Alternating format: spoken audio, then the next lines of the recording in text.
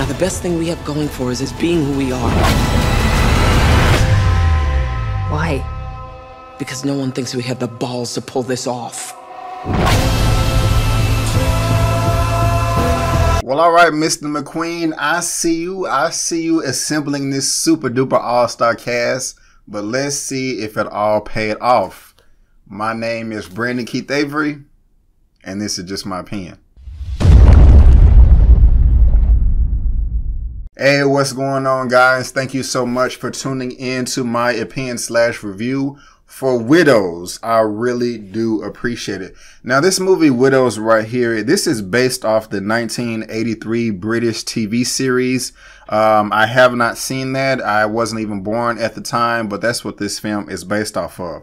It's being directed by Stephen McQueen. If you are not familiar with him, he popped up on the scene for me and mostly everybody else uh, in 2013 when he wrote and directed, and I believe produced as well, uh, 12 Years a Slave.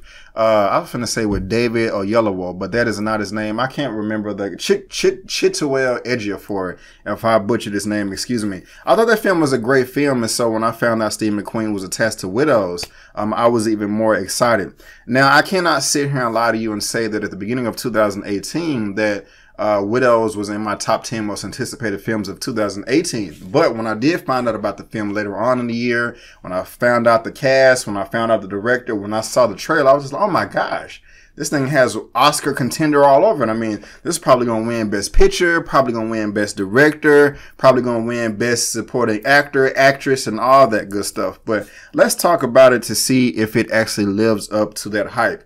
Now, what the film is about is we're going to take the main star in this film, uh, Viola Davis. She is one of the main characters in this film. She is married to a gentleman in this film by the name of Harry Rawlings, played by Liam Neeson. And Liam Neeson is part of this underground group, this sect this organization of people that go around and steal things from either good people or bad people. If you want to know, you have to just see. And if it's justified or not, you're just going to have to see the film. And he crossed the wrong people and stole from the wrong people. So we have uh, Brian Tyree Henry in this. He plays Jamal Manning. He wants his money back. He wants his $2 million back. I'm not spoiling anything. This is all over the trailers. And so Viola Davis is scared like, damn, I don't know anything about my husband's past business. He's not here to save me. I'm a widow now. I need to team up with the other widows and see what we can do to get these monkeys off of our back. So that is the plot of the film. Now, some of the positives in this film is the ending. Um, I did not expect the ending at all. Um, you know, it was a breath of fresh air that will make more sense when you see the film and you know what I'm talking about so you can have some type of context. So I didn't expect the ending. The ending of the film was pretty much the best thing to me. Also, um, Stephen McQueen, he did some things with the camera that I've never seen in any film before. And I like that when I see something fresh, something new, something that has never been presented to me before with his uh, camera movements. Um, early on in the film, there was, I, I, guess we can just call it a heist, but the way he had the camera in the back of the van was some type of first person shooter view. I was just really drawn in. I was at the edge of my seat. It, like I said, it was something that I've never seen before. You know, when, when the people involved in this scene, when they were moving back and forth, I was kind of moving back and forth too. It was just a great, inventive way to incorporate what he was trying to capture and um, I liked it. I liked it a lot. Now, as far as everything else, I mean, we're going to talk about the performances. The best performance in this movie does go to Viola Davis, and I would say the second place goes to Brian Tyree Henry. I really did like his performance. If you don't know him, uh, he popped up on the scene for me in the uh, FX show uh, Atlanta play uh, that is um, uh, show ran by Donald Glover. Now, as far as the positives in this film, that's pretty much all of them. Um, I'm not going to waste you guys' time, and I'm not joking. I'm, I'm, I'm being serious right now. But this film, Widows, is the most disappointing film of the entire year. I was very disappointed with this film. I was bored out of my mind for Act One and Act Two. If it wasn't for Act Three, this film would possibly get like a D minus or an F. And you're probably saying like, "Oh my gosh, Brandon, what the hell? Are you serious?" Well, yes, I am serious. And let's just go ahead and get into everything that really frustrated the hell out of me with this film. First of all, we have the widows in this film. I just really didn't care about them. I, I couldn't sympathize with them. Or I couldn't empathize with them. I mean, I, I could sympathize with them somewhat, but I, I found myself asking this question: Should I feel sorry for these women here? I mean, like you know, did they deserve what they're getting? I mean, the film just did not give me enough reason to care for them. I mean, other than the plot telling you to, there was just nothing about the performance, nothing about their acting, just nothing to where I was just like, damn, I really hope that these women get out of this situation. You know, I, I want them to win. I want them to prevail. I want them to be on top. None of those emotions or thoughts crossed my mind while I was watching this. Um, also, in this film, it's kind of hard to determine who is the good guy and the bad guy. And when I say that is like, you know, when it comes to Brian Tyree Henry's character, I mean, I'm still on the fence whether I should root for him or not, and just a number of other characters too. Now, uh, something else that really just bugged me is, is that is this whole plot believable? Now, the reason, what I, what do I mean by that? What I mean is, you have Liam Neeson's character that are like these expert, um, these expert heistmen or henchmen or whatever. You know, they go around doing all this dirt underground and behind the scenes and things like that. And for the most part, the film tells you that they're at the top of their game. I mean, you know, I'm talking like Ocean's 11 style on top of their game, but they ended up dead because they I don't know. They just didn't cross all the T's or dot all their I's, but they're professional. But then given the timeline that the widows had to pay back the money in this film, I'm just saying, okay, if these experts could not pull off the job, they have been doing this over and over and over for many years on top of years, what makes you think some widows that have never had any experience with underground life at all, life in the streets, how in the hell can they pull this off? Some of them can't even shoot a gun. Some of them never even seen a gun in their entire life or even know how to buy one. But I'm supposed to buy, I'm supposed to buy that they're just supposed to just, you know, just jump into this underground lifestyle and just, you know, go and get two million dollars and pay it back to these people and these people and then just walk out squeaky clean. I mean, that's just kind of a, like a hard pill for me to swallow and um, I, I didn't swallow it all. Now, as far as the cast is concerned, let's just go down the list. Uh, Viola Davis, I stated that she had the best performance, but that did not come in towards the end of the film. Early on in the film, I mean, she was just mourning. Uh, and, and of course, she has a reason to. Her husband died. She's a widow. But, um, the, the, another film came out earlier this year. Why am I getting everybody's names wrong? I'm about to say Sebastian Stan. Um, the guy, the astronaut guy, uh, Ryan Gosling, First Man there was a lot of complaints about that movie to where, you know, it just seemed like, you know, he wasn't acting at all. He was just kind of staring in the space, looking at nothing or whatever. And that's just kind of how I felt about Viola Davis's performance early on. But towards the end in the third act, that's when it came through for me. I was like, okay, damn, you know, you did a great job. Liam Neeson, he's not in the film that much, but he did an okay job. Jon Bernthal, he's in the trailers, but he's only in this film for just like half a second. Okay, now we have Michelle Rodriguez. I mean, she did an okay job. She didn't do bad. She didn't do good. Elizabeth Debicki. She did a little bit better. I was entertained by her, but it was just really nothing to knock my socks off. Now, Robert Duvall and Colin Farrell, they had some pretty good scenes too. Uh, when I was doing a little bit of my research, Stephen McQueen stated that he uh, had them improvising a lot, and you can definitely tell, especially with Robert Duvall's performance, because uh, I, I want to say kind of towards the end of the second act. I mean, it was I, I, was entertained, but at the same time, I felt that he was just yelling. I mean, Robert Duvall is an Oscar. Um, uh, he's not a nominee; he's a winner. I can't remember how many times, but I know he's won at least once or twice or whatever. But at, at one point in time, I felt like he was just screaming, and it was a good performance. But I really just couldn't tie it. it, it there had there was no context to it. It didn't tie with anything in the story or any of the surrounding uh, environment or the situation. So I'm just kind of like, okay, bro, while I'm entertained, seeing you yell, and I understand that you're upset about something, but it really just doesn't make sense to me. Also, in this film with, uh, you know, that was uh, directed by Steve McQueen. He wrote it too. Did he write this thing too? Yeah, he wrote it, and I believe he produced it as well.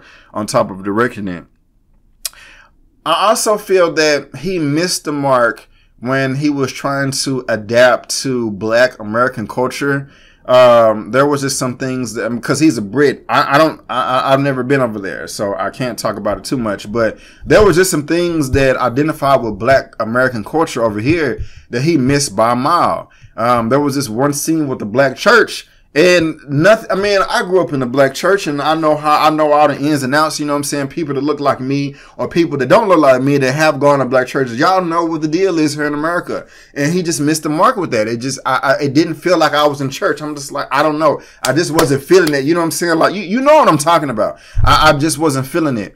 Um, there was, um, and, and I, am kind of, I feel like I'm just kind of skipping around right there. But also uh, with the improvisation, um, with some of the characters, it just it just didn't do it for me. But sorry, let me go back to the cast. I just thought about that real quick. But Colin Farrell, he did a good job. Um, I said second place as far as the acting is concerned. That does go to uh, Brian Tyree Henry. And there is one more cast member that I want to talk about, uh, Daniel Kaluuya. Well, I'm just scrolling down real quick because I really want to make sure that I don't miss. Oh yeah, Cynthia Erivo. I knew I was missing somebody. Um, she did a great job in uh, Bad Times at the Royale. She's also the film is filming right now. Harry, uh, she's playing Harriet Tubman. Going to be the film is going to be called uh, Harriet.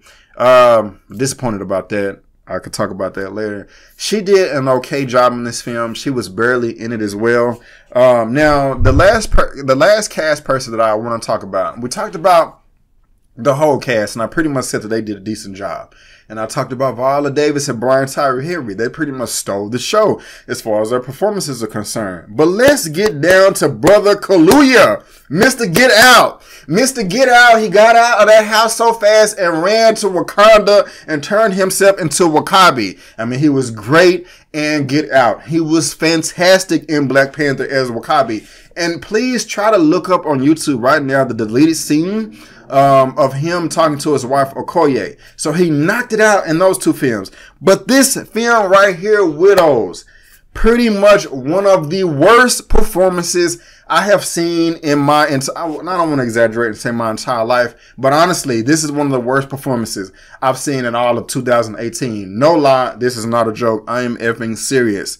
I don't understand what happened. Well, I, I think I do, and I'm going to tell you here in just a little bit, but Daniel Kaluuya's role was supposed to be trying to play some stereotypical thugged out triple OG type of figure. You know what I'm saying? An original gangster, just somebody that you don't mess with, somebody that you don't double cross, somebody to where if you look at them wrong, they're gonna put a bullet in your head or just beat the hell out of you. You know what I'm saying? He was supposed to be one of the antagonists, uh, the, one of the antagonist in this film. I was going to say protagonist. He's one of the antagonists in this film. And it just wasn't convincing. It was corny. It was damn near laugh out loud funny. Like, bro, what are you doing? You, I am not convinced. You look like a fool trying to play the threat. I mean, it was comical. I mean, like, I was worried, and when I saw the trailer, one of the things that I was worried about, I'm just like, bro, like, I, okay, I haven't seen the film. You look a little silly in the trailer, but let me see the film and let me get the context of all your mannerism, things like that. Maybe you're gonna hit this hole. Maybe you're gonna knock it out the park. You know what I'm saying? Hit a home run. But y'all know in the trailer when he all it up in the dude's face, going like this you know, like all up in here trying to act all hard and stuff like that. It looks silly in the trailer and it looked even dumber in the movie. I'm just like, what is going on? I'm looking to my left, looking to my right, like, do y'all see this shit? This is trash. This is garbage. I don't know what happened. To me. Like, please go see the movie. Just, it, it just was whack. I mean, like, Every time a movie is introducing an antagonist, they always have that one scene or two, especially at the very beginning of the movie. They're, they're murdering someone or torturing someone. And I'm just like, okay, damn, like this guy right here, you don't want to mess with them. You know what I'm saying? It just sets the tone for the rest of the picture. From the moment Daniel Kaluuya popped on stage or, or up on screen, I'm just like, bro, sit your ass down. You know what I'm saying? I love you, my brother. I, you know what I'm saying? I, I, I want to support you and all your acting chops now and on to the future. But this right here, bro, you did just a horrible job. And I don't blame you. I know you can act because you did a great job and Get Out and, and, um, Black Panther and everything else. I, I also saw that, uh, episode of Black Mirror or whatever. I only seen two episodes of all the seasons they got, but it was one to where, you know, you know, the one where he was in where, they lock you in a room and you got to pay the credits and the, the porn comes up and like makes you jack off and stuff like that, makes you master. It, it was freaking weird or whatever, but he did a great job of that too. But this right here was trash. And I have to blame the director for this. I have to blame Steve McQueen because you have this whole cast. Just everybody in this whole cast can act they freaking behind off, but it didn't come through in this film. And I just blame it on the director. I mean, in every other movie, if y'all can just give these great, fantastic performances, but then when y'all come together, when y'all assemble like the damn Avengers, and uh, y'all, some of y'all nearly crapped the bed. That can only be blamed on the director. Also, I just blame on the director. I mean, there was so many people in this movie that just didn't do anything. I mean, like he just, it, it's like, okay, man, if you give, if you have one toy or two toys, if you like toys, you know what I'm saying? You're going to play with them. You're to figure out all the mechanics and stuff like that. If you had an Optimus Prime toy, you're going to be able to transform it and do all this and, and, focus on it. You know what I'm saying? But he had too many toys to where he's like, oh, I don't know what to do. I mean, like, I want to play with this one, but I got to play with this one over here and I got to play with this and da da da the plot of this film was like scattered. Like you had too many random events happening. So I'm like, okay, we were just here in this scene. Now why are we way over here? Like I, I don't understand. I don't really feel like it's coming together and it's distracting me. It's clocking me out and I'm just like losing interest. I'm bored and I kind of want to go home. Now I will give Steve McQueen credit. It all did come together in the end full circle. So I will give him that. That's why I said at the beginning of this review that um, the ending of the film saved it, and it was uh, it was great, but um, it was it was just too uh, spread apart. I mean, I was dreading the first two acts. I, I was really ready to go home. I, I was like, I don't want to watch this movie no more. And I don't even let me see how long this thing is, real quick. Okay, where's okay? This movie is two hours and nine minutes. Okay, yeah, that that seems about right in this crime uh, drama romance. Um, something else that I want to talk about real quick is okay, random. Okay, uh, yeah, that's what I was gonna talk about. I knew I was leaving something out. Now, um, I recently had a uh, film. I, I, recently did the review for uh, Instant Family with Mark Wahlberg, and I said in that review, go check it out. Please subscribe. Go check it out. I said in that review that I was surprised with all the all the race issues that they addressed, and I think it was integrated in that film very well. It was all cohesive. What Stephen McQueen tried to do in this film with race did not make sense. And I'm not talking about bed wenching or anything like that. I don't I don't have a problem with that as long as uh, one of the, the the darker skin party does not turn into a coon. Um, when it had to do with like race relations and trying to label his characters uh, with like what where they fall in the justice line and things like that. Uh, he had a one white character use the word nigger, and I was like, okay, he's a racist, but then again, I just wasn't convinced because usually when that happens in any other film, I'm like, oh, okay, oh, okay, you, you know, it, it, it, it moves you. I, I, I, can feel it. It feel like I got stabbed in my heart or something like that. And I'm, I immediately know from that point on, okay, this is the bad guy. We want him to lose. I did not feel that in this movie. We had another character in this film that was extremely jealous of black guys. Like, have you ever asking a white a white man asking a white woman, have you ever slept with a black man before? Have you ever? I don't know where it came from. And yeah, I mean, we there are men like that in the world that do exist that will lose their effing minds if they find out that a white woman or any woman is dating a, a, a black person or a brown person, and it, it'll just freak them the f out. So him and putting that to the film, yes, it's realistic to the real world, but it just did not fit in this film. It just felt random. I was like, okay, bro, you kind of fell there. And that's just another example of why I said Steve McQueen failed to me when he's trying to adapt things that have to do with a lot of black American culture. Um, and then again, guys, there was just really no motivation for the other characters, the other widows in this movie to join Viola Davis. I mean, it made sense for Viola Davis to want this plan to come through, but it did not make sense for everybody else. And guys, I would just, oh, one more thing I want to talk about is like, I don't mind sex being in a film. I don't. Um, especially if it's necessary. For example, we all seen the movie Green Mile where Tom Hanks he had I forgot what condition he had, but he couldn't have he couldn't have sex with his wife. He couldn't smash his wife or whatever. I forgot what it. But anyway, uh, Michael Mark Clark Duncan, you know, grabbed his piece, healed him, and all that good stuff. He went home, smashed the crap out of his wife. You know what I'm saying? And they kind of showed some of it. That was necessary. Okay, I mean, there was a reason for it in the plot. I mean, he couldn't have sex with his wife. Sex is very important in a marriage. Probably one of the number one of the top three most important. Probably top two you know, communication and personal space is very important as well. You know, that's what my mom and daddy told me and some other married people that are like, you get what I'm saying. But also the movie Monsters Ball with uh, Halle Berry, you know, when she smashed uh, Billy Bob Thornton, given her mental state in that position in the context of the film, I feel that was necessary. But in this film right here, you have some excessive French tongue kissing, lip locking for no reason at all. It's like, why are they doing? Okay, like I, I, mean, yeah, people, everybody kisses, everybody done use their tongue to kiss somebody in the world. I hope so. If you're an adult, like if if not, I, I don't know what to tell you. I hope so.